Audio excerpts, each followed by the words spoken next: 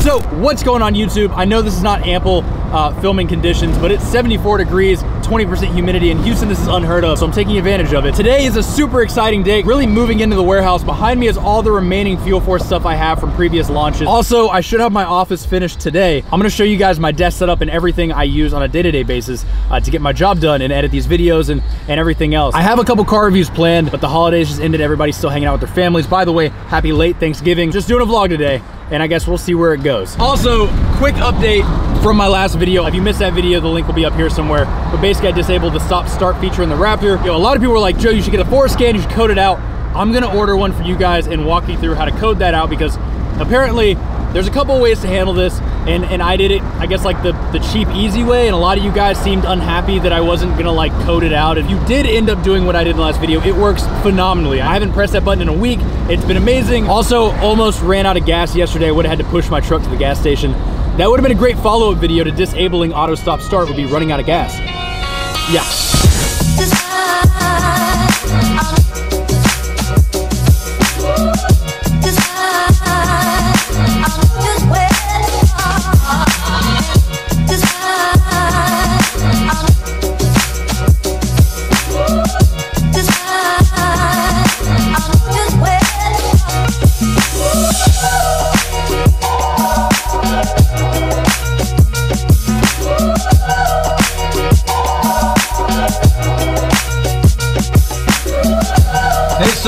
couple of you guys ordered um, while I was on holiday. So if it took a couple days for your order to go out, my bad.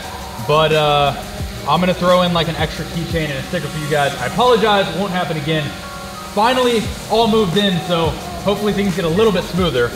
So this is the current setup uh, at the Fuel Force warehouse. I have one rack. As you guys can see, I really have no inventory right now on a little packing table. This will expand and grow as the Fuel Force grows. Everyone did Black Friday. Like everyone I know did Black Friday. I decided I'm gonna do Cyber Monday because no one was really doing Cyber Monday. And this way I'm, I'm not like trying to sell stuff the same day as all of my friends. Behind me is all the inventory I have left. A lot of this was reorders. That whole bottom section is small and extra smalls. I made a typo uh, on an order and ended up ordering way too many extra smalls and I don't have anyone under the age of like 10 that really watches me. So tomorrow or really today, uh, first link in the description will take you to the website. Everything including the hats and decals and stuff for like 20 to 40% off. Uh, free shipping in the US over $50 and the extra smalls and smalls, I think I'm gonna make them like 60% off. I just need to get rid of them. So if you have a little brother or girlfriend or someone that's into cars, maybe think about getting them something. So I'll finish this up and then I'll show you guys current state of the office and, and go through everything I use on a daily basis to get my job done. Well, let's spin into it. Minus a couple of things, this is basically gonna be my daily driver going forward. I actually make a living um, developing software. I'm also a huge techie, so I want the latest and greatest, obviously. We're gonna start off with the actual desk itself. My dad owns a cabinetry company and he made me these butcher blocks, and I'm a huge fan of oversized desks. So this desk actually seven foot by three foot. The legs were a little flimsy just because of how long the desk is. So I actually welded a beam between the two and spray painted the legs black. I can't give you a link to buy this because it doesn't exist, but you could do it yourself with a decent wood shop and someone that knows how to weld. Let's get into tech. So the brain behind the setup is a 2018 MacBook Pro 15 inch loaded out. This is the i9 six core, 12 threads, 32 gigs of RAM and a terabyte hard drive. This thing sets you back like four grand, but it is so worth it because no one else can offer such a powerful laptop uh, in such a small form factor. Also, I have a dbrand skin on it. You can tell it's a MacBook, but at least it's, it's my own, I guess. Like I don't mistake it for the other Space Gray laptops laying around. And I have this laptop sitting in a Space Gray uh, 12 South Book Arc. Basically, it's just a holder. If it's laying flat, it obviously takes up a lot more of my desk. Not that I need the extra space, but I, I don't know, it just looks nice um, when it's docked. The reason that I have this thing docked is because of something called a USB-C port. USB-C can basically transfer um, enough data and power through one connection that all you have to do is plug in that one connection and your monitor becomes your dock. So my keyboard and mouse are plugged into my monitor, uh, my external hard drive is plugged into my monitor, as well as headphones and speakers. So I plug one thing into my laptop and I have a full-blown workstation for the whole day. The monitor itself is a Dell 38-inch ultra-wide. That's essentially the dock for my whole setup, as well as just a giant screen that looks phenomenal. Highly recommend it, whether you have USB-C or not.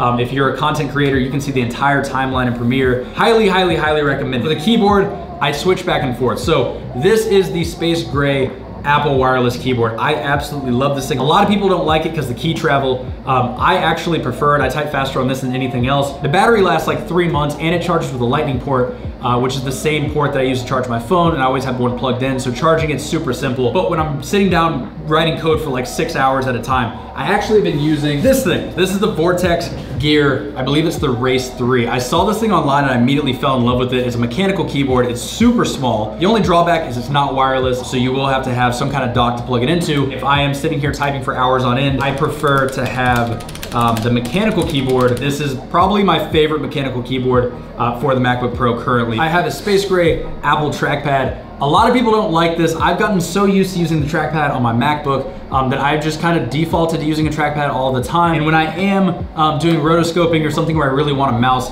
I have an MX I forgot the name of it, but it's also space gray. Everything ties together really well. I keep this on my desk, but I don't use it uh, a whole lot. For audio, I have a Sonos One. It's the latest and greatest from Sonos and has Alexa built into it. I can use Alexa to play music from Spotify and everything else. Alexa, play Freebird.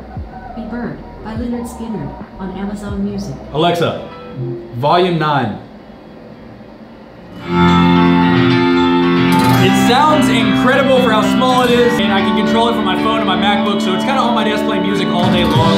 Uh, the ultra wide actually has pretty good speakers in it, so when I'm watching videos on YouTube and stuff, I just use the speakers built into there, or I have headphones on. Either way, Alexa, shut the fuck up.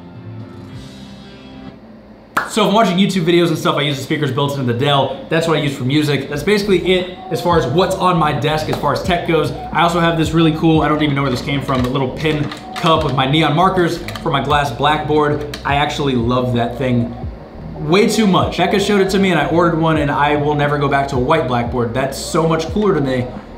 It doesn't do anything different. It just looks really cool. While I'm on the topic, I'll also just touch on software that I use on a daily basis. Just really, really quick. Premiere Pro is what I edit with basically nonstop. After Effects is my go-to for all kinds of compositing and stuff like that. Photoshop, adding stuff to photos. Lightroom for actually editing photos. Basically the entire Adobe suite I use on a daily basis. Framer for UI design. I use Atom.io as a code editor. And Chrome. Those are basically the apps I use on my computer day in and day out. I also really want to put two chairs uh, and some kind of console table in the back and maybe a rug um, and then I have some artwork coming from over there that'll be in a future video.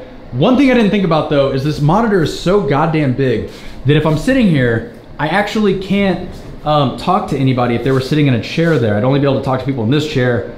It does turn and move around, but not that much. So the monitor kind of renders the idea of having this like a meeting area ruined, but I don't even care because it's worth it to have this giant monitor. Let's go to Becca's. We're gonna finish this video out uh, doing a montage decorating our Christmas tree and the name of the holiday spirit. Let's go.